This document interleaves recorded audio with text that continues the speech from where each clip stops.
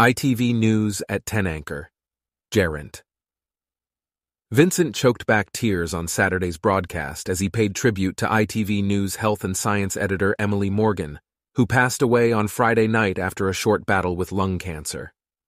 Becoming emotional as he finished the broadcast, he shared the tragic news with viewers, telling them, Now, we regularly report upsetting events that affects people's lives. Tonight we have something to report that has affected all of us at ITV News very deeply. It is the death after a short illness of our on-screen colleague and much-loved friend Emily Morgan, our much-loved health and science editor. Emily worked here for 23 years first behind the scenes as a producer, but for most of that time lighting up our programs every day as a political and then health reporter. Holding back tears, Geraint continued. At 45 years old, she was at the very top of her game as anyone who followed her peerless reporting of the COVID pandemic will remember well.